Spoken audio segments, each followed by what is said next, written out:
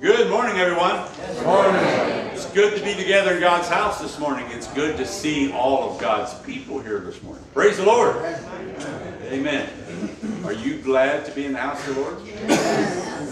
Better yet, are you glad to be a child of the King? Amen. Praise the Lord. It's good to be in His care. And that's what we want to talk about here today to rest in Him. To rest in His assurance. Praise the Lord. Just for a few moments, I'd like to go to Hebrews chapter 4. I won't be overly long. I could go a lot of different directions here today and some things that I would like to say.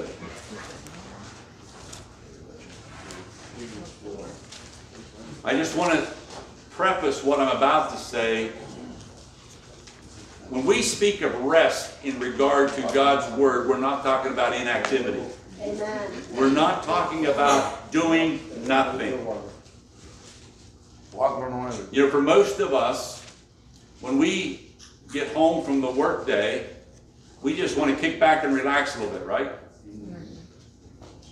You know, in some ways, I believe that's a misconception for us in regard to our Sunday meetings. You know, it's just a time, well, I'm just going to kick back and relax. And it's okay. There's nothing wrong with that at all. But what we're going to talk about here, what's spoken of here in Hebrews, is not talking about inactivity. It has nothing to do with slowing down. That's right. We don't want that rocking chair mentality. We're talking about being faithful to the call. Hebrews chapter 4. Main focus is going to be verse 9. Hebrews 4. Therefore, since a promise remains of entering his rest, let us fear lest any of you seem to have come up short of it. For indeed the gospel was preached to us as well as to them, but the word which they heard did not prompt them, not being mixed with faith in those things who heard it, in those who heard it. For we who have believed do not enter that rest, mm. as he said. So I swore my wrath, they shall not enter my rest, speaking of another type of rest. Although the words were finished from the foundation of the world, for he has spoken in a certain place on the seventh day in this way. And God rested on the seventh day from all his works, and again in this place they shall not enter my rest. Since therefore it remains that some must enter it, and those to whom it was first preached did not enter because of disobedience. Again, he designates a certain day, saying in David, Today, after such a long time, as it has been said, Today, if you will hear his voice, do not harden your hearts. For if Joshua had given them rest, then he would not have afterward have spoken of another day. There remains, therefore, a rest for the people of God. May God add a blessing to the reading of his word here today. When God's word invites us to rest in God, it invites us to a particular way of assembling ourselves that would resemble a rest in God's care. Amen. You know, that's why that picture and that stained glass window in North Middleton Church, when I was not very old, stuck with me. You might say, well, why is that so important? Again, as a child growing up, hearing those Sunday school stories and being able to connect some way, that picture, that stained glass window, represented to me a peace and a comfort and contentment that most of us don't have today. Your world is definitely in a struggle. There's a lot of turmoil. How do you find safety? How do you find peace? How do you find rest in a time such as we are living today? The Bible does tell us that God rested on the seventh day. But does that mean God was inactive? Does that mean he did nothing? Does that mean he sat by the wayside and now watched all that he had created and said, Boy, this is going to be good?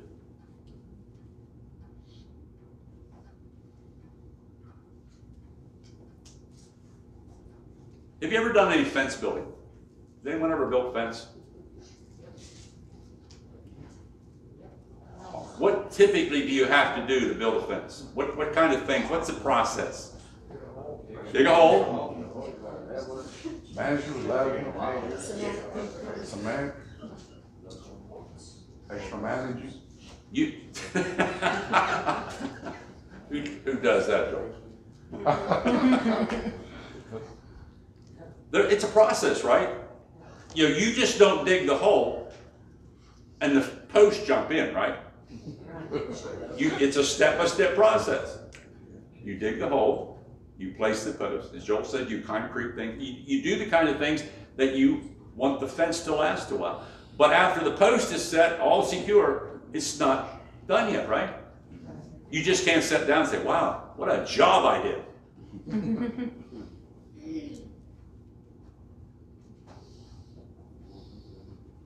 But let me ask you a question. After digging the hole, after placing the post, after placing the concrete, making sure everything's plumbed up, Did you take a break? That's how hard it was.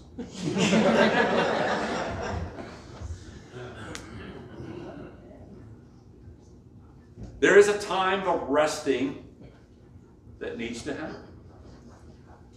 But the job's not done. You know, we set out in our Christian relationship with our Lord, and we've committed ourselves to Him, and it's a process. Things are unfolding before us. The job is ongoing. And as we move forward, we may pause for a time to rest, but we need to get up and get moving again. God ceased from his creative work on the seventh day. But in no means did he stop and did nothing. His divine will and his purpose was in motion. Jesus himself was very specific about this thing. He says in John 5 7, My Father has been working until now. Hmm. Jesus speaking of his heavenly Father. And I have been working. We know if we've studied the Gospels, if we studied the life of Jesus, we know that he worked. But we also know that he rested every now and then from this work. To understand that very idea, it involves our connecting in that relationship with our Lord. We must first remember how sin entered into the world. It all began in the garden, it all began through Adam and Eve. It happened. And God said, You will earn your way, right? You know, if you think back on the pre sin way of life, well, you couldn't have asked for anything any more perfect. Everything that man or humankind needed at that time was there. Perfect environment. People lived long lives. Yeah, I say this every now and again. How would you like to live to be 900?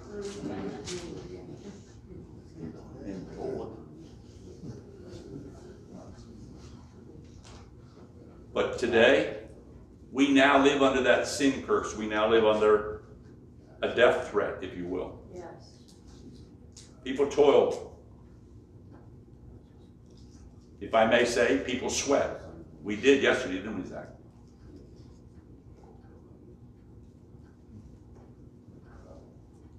But in that relationship with their Lord, as we begin to labor, as we continue and stay the course, there is a promise and a blessing comes through that.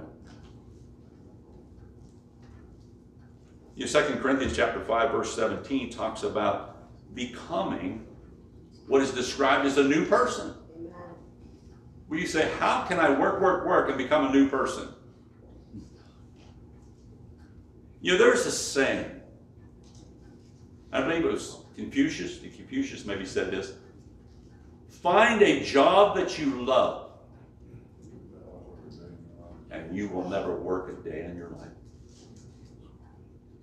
My grandfather said that. How many believe that?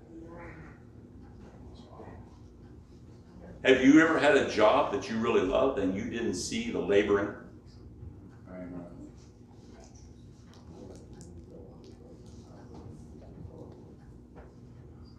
Living in the midst of sin's curse, humankind, we can hear the good news of the Bible, the good news from our Lord today.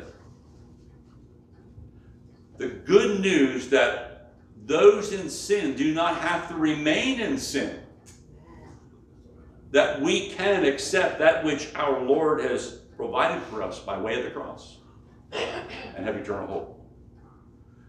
In that, when we receive Jesus Christ, if I may go as far as to say, the Bible teaches us that death ceases. Hmm. You say, well, that's not true. People are still dying. Physically, yes. You may not live to 900. Don't want to burst your bubble. But spiritually speaking, if you're a child of the King, you have hope. Amen. You have eternal hope. Amen. This provides an opportunity in life that we can step out of what seems to be a labor and becomes more of a labor of love. Why do you do what you do today in regard to your relationship with Christ? Why do you do it?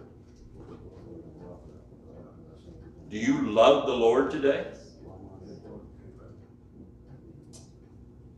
Is your life better today, spiritually speaking, than it was yesterday or last year or 10 years ago?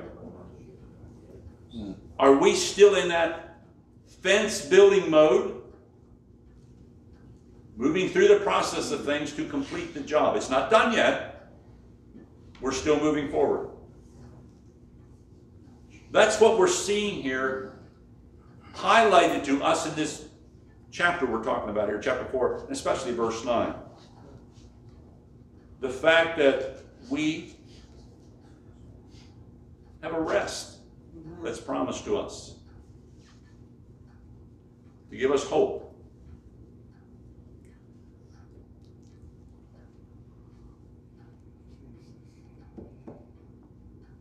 You know, there's there's a couple of different scriptures we could go to right now. Obviously, Proverbs chapter 1, verse 7, chapter 9, verse 10, uh, chapter 14. Uh, there's, there's various verses where we can go where it talks about the fear of the Lord. The fear of the Lord. In chapter 1, verse 7 says, The fear of the Lord is the beginning of knowledge. Chapter 9, verse 10 says, The fear of the Lord is the beginning of wisdom. The point I want to make is when we walk in this relationship that we have with the Lord Jesus Christ before God today, the fear of the Lord helps shield us. It shields us from fear. Yes. What is the biggest fear we have today? What is the greatest fear? I already heard it. What is it?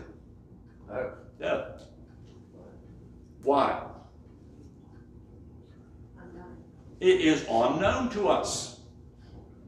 You know, if we know something, I mean, for George and working, and Taylor working on automobiles, they know automobiles. So when a car comes through the door, a vehicle comes through the door, yeah, this coming with a particular problem, and they work through the process to do that. But death is not something that any one of us has experienced and we can stand here and talk about, right? So the unknown brings fear into our lives.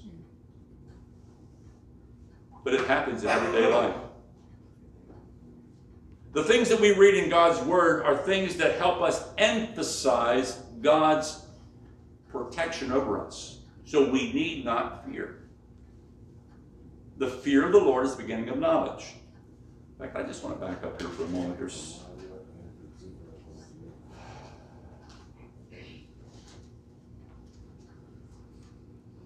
find it here quick.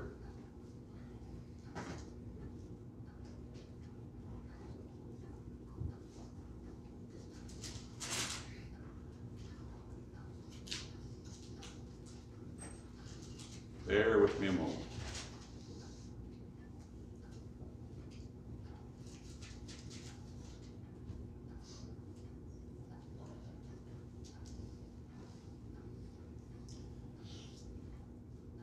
Psalms 14.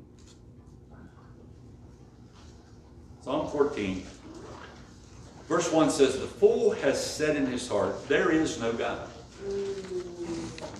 They are corrupt.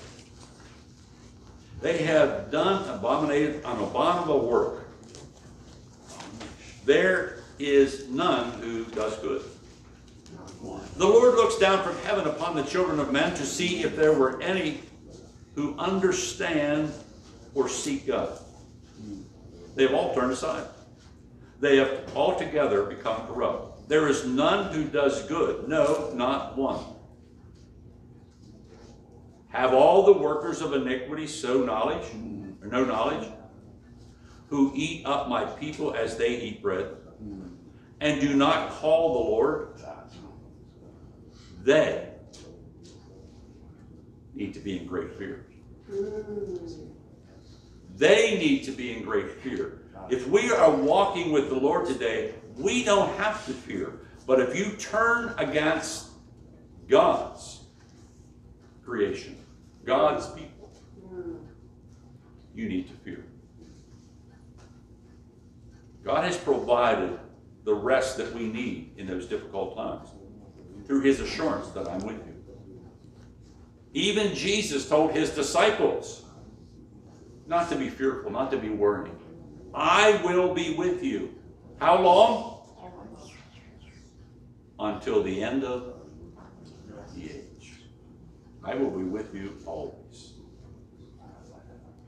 What is the recipe for walking through this journey of life, laboring in love, working for the kingdom, but being able to rest? What's the recipe?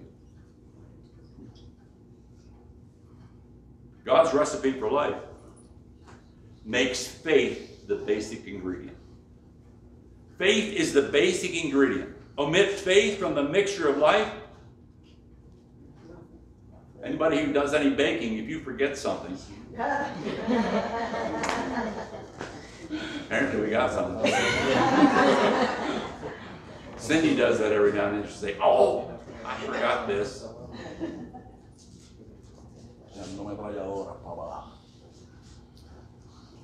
You know, faith is not a requirement to enter real life, is it? You know, there's a new life coming here soon. It is a commitment that two people have made together, and it brings forth life. But that life, in turn, or spiritual life to happen, is a decision, a choice that those individuals make. So faith is not a requirement for the entrance into real life. But for us to enter, I'll be careful when I say this, for us to enter real life, Yes, we must choose Jesus. yes. You know, if we were to look at maybe what some describe as a literal translation of Hebrews 4 3, the ones believing, the ones believing enter Yes, real life. yes. Believe in the Lord Jesus Christ, then thou shalt be what? Saved. If we believe in the Lord Jesus Christ, we shall be saved. God created everything and rested. We could say, as we look at God's Word today, New Testament more so, the very work of finishing the kingdom, and I'll be careful again, is left to us. The spiritual kingdom that our Lord is trying to build. God created everything and rested. We enter into a relationship with God through Christ that we might continue this work. Jesus told his followers again when he was about ready to leave, I'm not going to leave you comfortless, but I will provide one, the Paraclete, the Holy Spirit, to come in alongside that you might finish the work. To enter into a restful relationship, we must have faith in Christ. Yes. We must be willing to keep our focus upon Him. Therefore, we are entering a divine activity. We are entering into that labor of love because we love the Lord in that spiritual relationship. It is no longer a labor, but a joy. Yes. Mm. Do you enjoy what you're doing today for the Lord? You know, I've said so many times, for me, coming here is almost a vacation. You may say that's crazy, but it's not. I enjoy the things of God. I enjoy being with God's people. And that's what it's all about. Resting in God has an appointed time. You know, we can look at verses 6 and 7 again, or 7 through 9, actually, and we can see what God's offering to us. Have you ever had someone, maybe you have said this, boy, today was a good day. Everything went well. Have you ever had a bad day? Do you have more bad days than good days? Sometimes it seems that way, doesn't it? God's offering us good days. You may say, well, I'm not sure God fully understands the job that I do.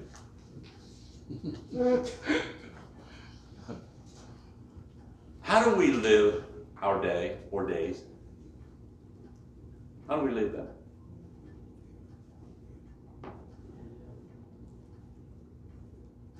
How do we live them? One day at a time. That's all we can do, right? You can only live one day at a time. You can't live tomorrow, and you can't relive yesterday, but you can live today. Are we promised tomorrows? No, we're not. But hopefully, in this process of things, we have accepted the Lord Jesus Christ, and tomorrow is in His care. I know who holds tomorrow, as we sing the song. I know He has me in His care. The writer of Hebrews seems to be excited to help us realize what He's provided for us. What's it mean?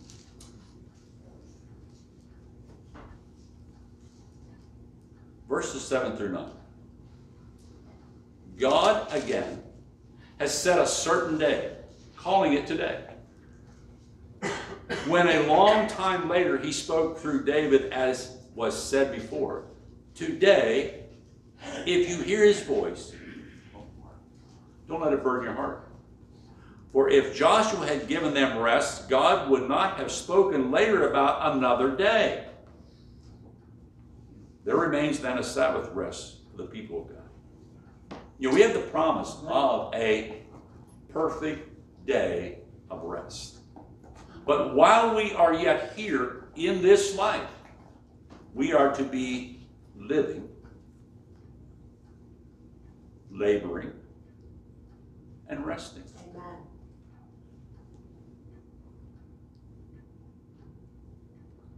The writer still of Hebrews reminds us again that following the time of Joshua, God was still speaking through David. Yes.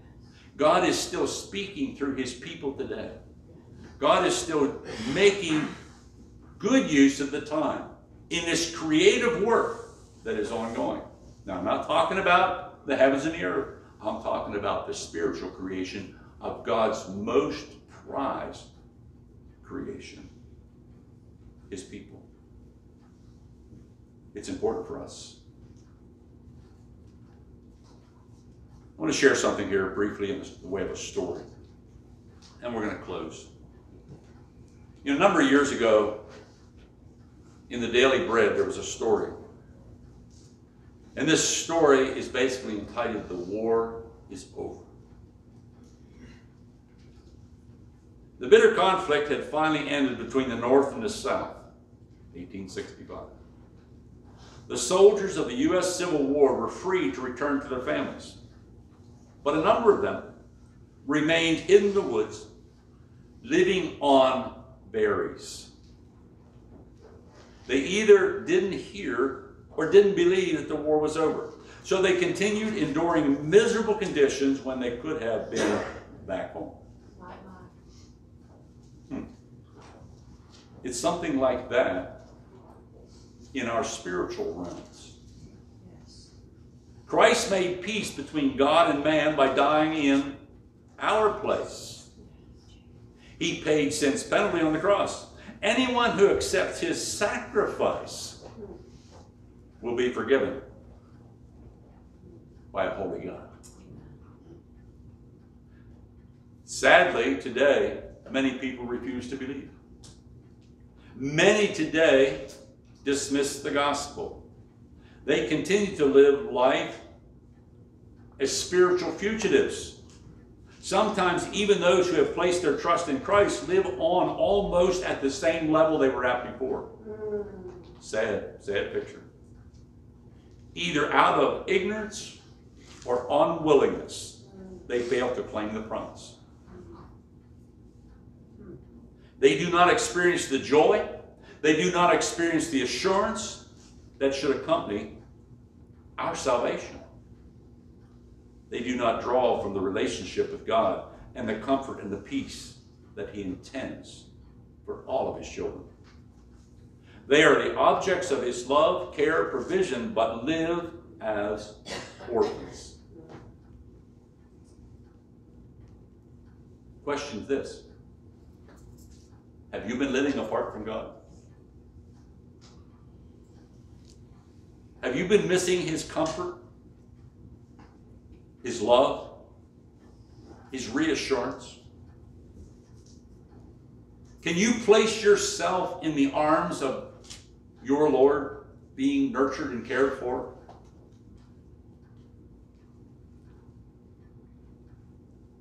You know, we fail our Lord if we fail to realize what He's provided for us. We fail our Lord if we are not living in the fullness of all that He has done for us. So, what needs to happen? Well, we need to reach out in prayer to our Lord. We need to pray that the Holy Spirit will help us realize what we have been given, what has come through that finished work on Calvary. We need to grasp this spiritual energy that comes through the Holy Spirit, and we need to claim it in triumph. God has done it for us. Christ has provided a victory that we all need to have. I'm going to share one more story right around the same time period because it deals with a choice, a choice that all of us need to make.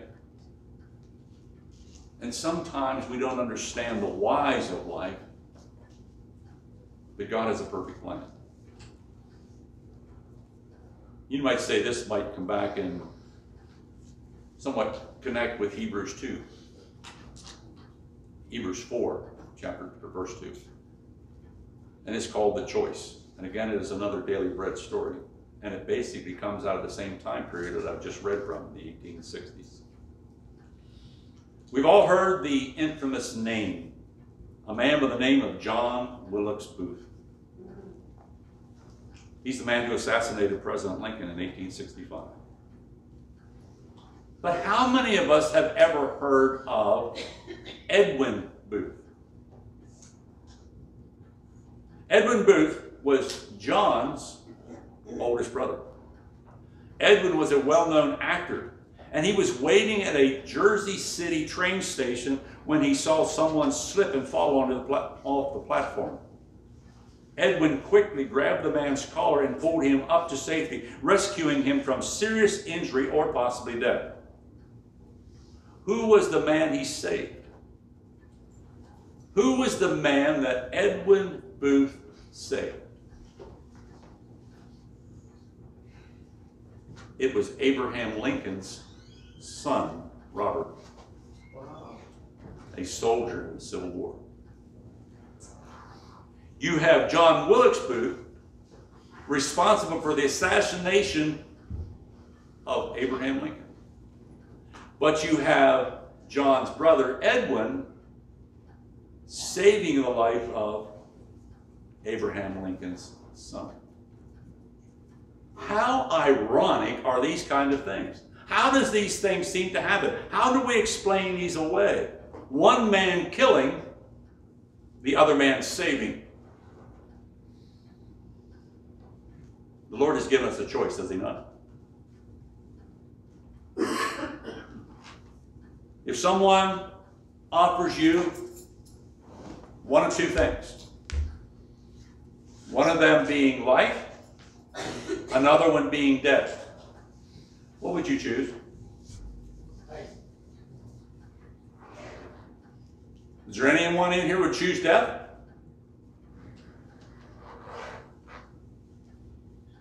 The choice that we make determines our eternal destination. Do you believe that? Eternity is determined by the choice that we make. One leads to everlasting life, the other leads to condemnation and separation from God. Now, as I said earlier, we have no control over tomorrow. But let me say this in closing. The choice that you make, or the choice that you have made, will determine your tomorrow. Yes. Do you believe that? Have you chose Jesus as Lord of your life? Do you know him in a personal way today? Have you made the right choice? Are you living, loving, laboring, and resting at the same time? Is it possible?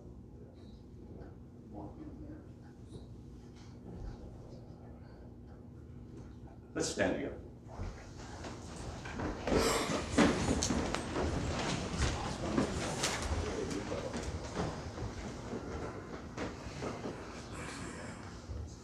Lord, there is none like you.